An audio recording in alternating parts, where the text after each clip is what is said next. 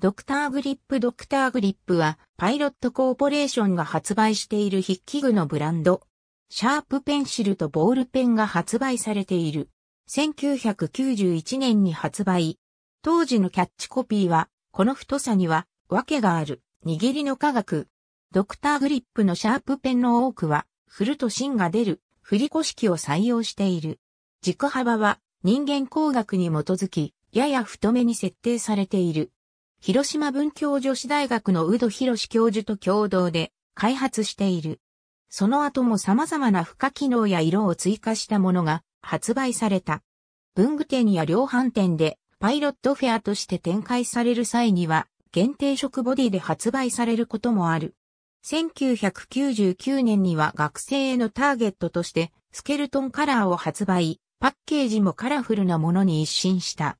2003年に発売されたドクターグリップ G スペックこのシャープペンシルはグリップが二重構造になっていて従来のモデルより柔らかくなっている。その中でもレギュラーとソフトの2種類があり、レギュラーは少し硬めで、ソフトはより柔らかいグリップとなっている。開発段階では、完成モーメントに着目した動かしやすい筆記具の開発を目的に、東海大学教授の吉田武を中心に共同研究を行った。